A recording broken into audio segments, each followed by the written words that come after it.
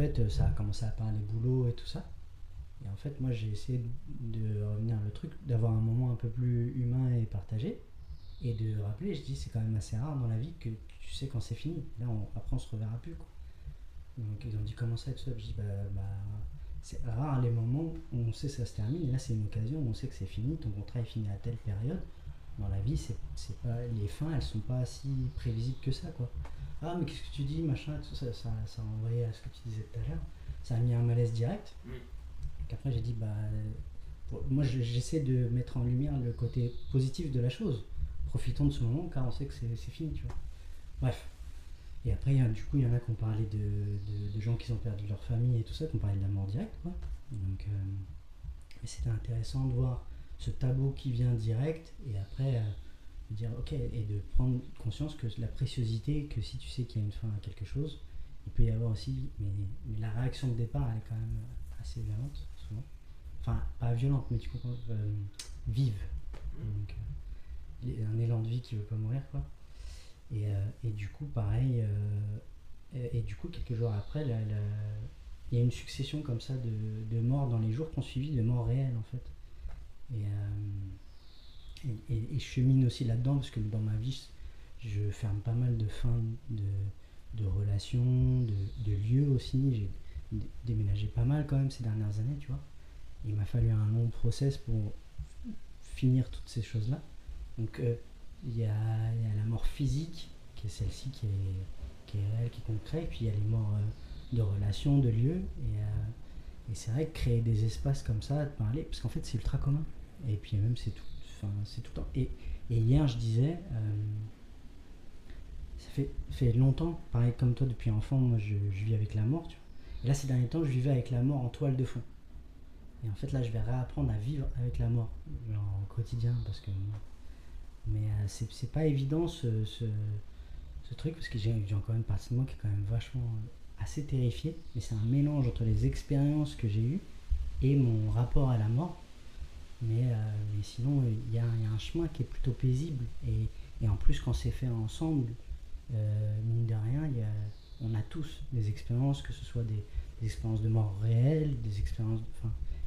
Et cette imprévisibilité qui peut être. Euh, euh, il y a la notion d'impuissance, mais euh, quand tu quand tu quand arrives à rentrer en, relation en paix avec cette imprévisibilité, ça te met une qualité, comme tu dis souvent, quoi. Ok, j'ai souvent conscience que peut-être la dernière fois qu'on se voit, donc bah, essayer de, tout donner entre guillemets quoi on verra. pas, pas spécialement de questions quoi, mais euh, c'est pour ça que cet espace il est, vertueux quoi. C'est hyper important qu'on ait des, moments de vie comme ça quoi. Un, des points qui est, qui est, intéressant et que tu viens de souligner, c'est que euh, la, il y a une grosse différence quand la personne sait, vous avez dû en connaître, hein, des personnes qui sait qu'elles sont condamnées. Elles vont mourir. Euh, et là, on a une deadline qui est pas hyper clean, mais tu sais que euh, si le gars t'a dit euh, il te reste 3 mois parce que clairement tu es, sur une maladie qui est pas cool, même si c'est 4 mois, tu sais que de toute façon, là, tu un gros. Tu as, une deadline qui est. Le cas de le dire, hein, ce coup-ci, deadline, là, on l'a vraiment, la ligne de mort qui va couper un ensemble de, bah, de potentiel. Et c'est intéressant de voir que soit tu le prends, tu prends le rapport à la mort comme bah, je peux tenter un maximum d'expériences qui me sont productives et positives, tant que je suis en vie. Mais cette deadline qui nous est proposée à un moment donné dans le corps médical parce qu'on a une maladie, c'est la même chose dans notre quotidien. Notre quotidien ne nous dit pas que euh, si euh, là, dans 10 minutes ou dans 3 jours ou dans un mois, on est vivant ou on est mort. Et c'est pour ça que la, notion comme tu le remarquais pour euh, fin de, une fin de contrat, tu dis bah là on peut en profiter au maximum parce qu'on sait quand tu t'arrêtes. Mais c'est là où on a un paradoxe qui est compliqué, c'est pourquoi on n'est pas capable de faire la même chose tous les jours, sachant que la mort elle est toujours là. La, mort n'est jamais absente, jamais. Tu vois, comme tu disais, vivre avec la mort en toile de fond, à aucun moment la mort est absente. Elle n'existe pas, la, la, mort de la mort, l'absence de la mort il y a le déni, il y a euh, la non-réalisation d'eux, Il y a, oh, j'aimerais bien que euh, mon chat parte parce que j'ai trop de chats ou, euh, ou je suis passé à autre chose dans ma vie et que le chat a un certain âge et que c'est tout. Et que, au bout du compte, tu ne te rends même pas compte de, de, de, cette, de la présence qui donne de la qualité à la vie. Et en oubliant la mort, ou parfois en, lui donnant... Euh, en l'exaltant, tu vois, il y a les personnes suicidaires, par exemple, qui peuvent avoir parfois des ah ouais mais si j'étais mort ça serait mieux mieux que quoi vu qu'on ne sait pas ce que c'est? Mieux ah bah si je vivais pas ça serait mieux. Mieux que quoi? Vu que tu n'as aucun point de comparaison. Mais tu vois tu as un espèce de la mort c'est bien. Et si on la prend d'un point de vue religieux c'est quand j'irai au paradis. Quand je vais me réincarner. Quand je vais euh, quand mon esprit euh, voguera comme, tes enfants ont, choisi de percevoir la mort voguera après des gens que j'aime. Euh, mais tout ça, c'est c'est une illusion potentielle où, soit en n'y pensant pas, soit en donnant une, coloration à la mort, ça nous empêche de vivre le présent en ayant conscience que qu'importe ce soit le paradis ou l'enfer, ou qu'il y ait rien ou qu'il y ait quelque chose, euh, la mort, elle s'en fout de savoir l'expectative qu'on a par rapport à elle elle s'en contrefou vu qu'elle est juste là et qu'elle elle admet juste que, que euh, quand tu ne seras plus, tu ne seras plus, donc tu seras mort. Et quand tu es vivant, bah, en fait, la mort n'existe pas vu qu'elle n'est pas là. Mais elle reste présente parce qu'à un moment, elle, sera présente.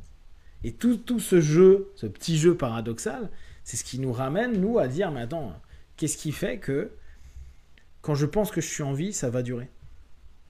Comme quand je pense que quelque chose est cool ou quelque chose est naze, ça va durer. Et là, on revient à des notions qui sont intéressantes de tout est éphémère. Exactement. Ta vie, elle est éphémère. Mais ce qui est pas cool, c'est éphémère. Parce que quoi qu'il arrive, même si c'est pas cool depuis des années, tu vas mourir. Donc il y a une fin à pas cool. Hein. Ça s'appelle mort. Mais il y a une fin à cool, ça s'appelle mort.